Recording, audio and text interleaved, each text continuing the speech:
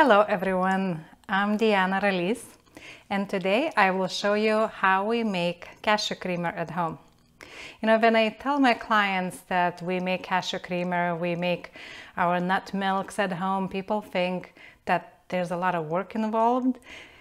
And that's why I decided to film this video to show how simple it is.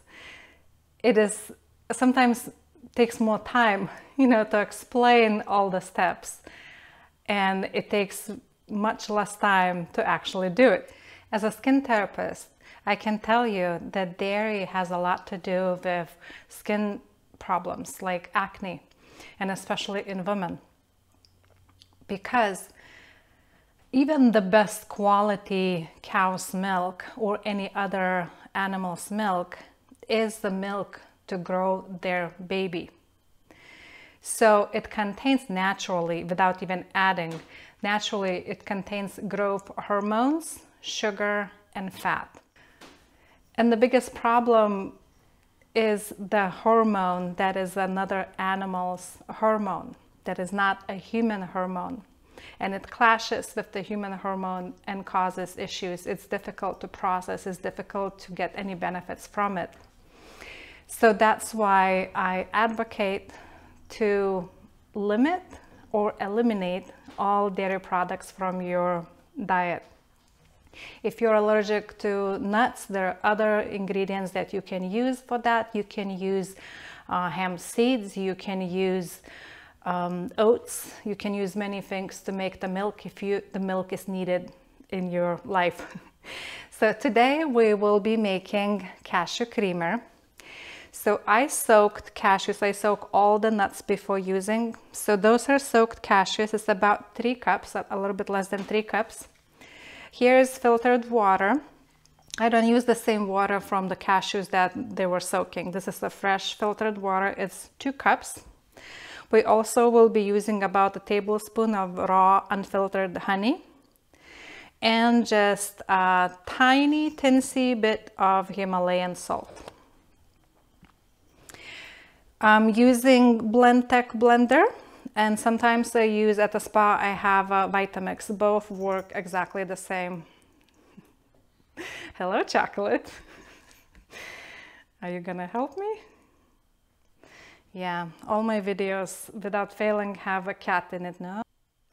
So we're going to add all the ingredients in the blender.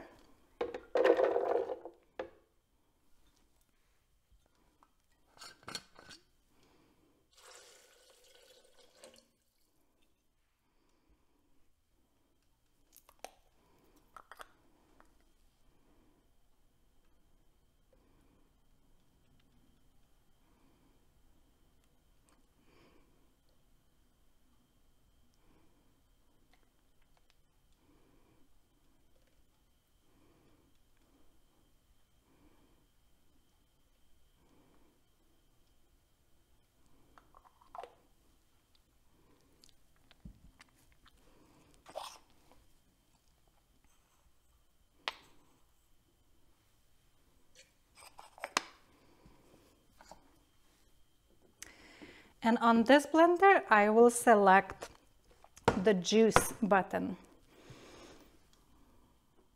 So it blends very, very smoothly.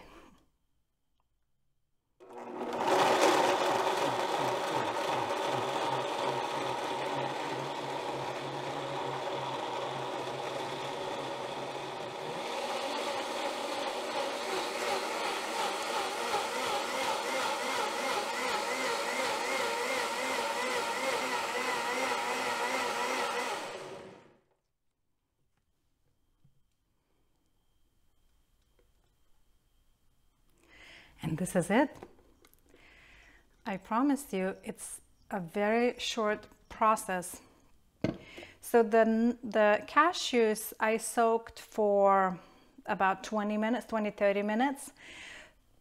Then adding it all into the blender was few seconds, right? And blending took a minute and a half.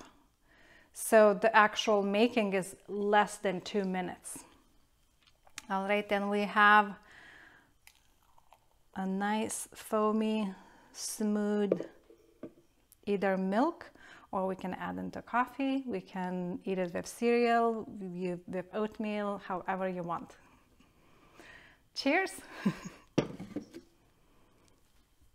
that is all for today. See you next time.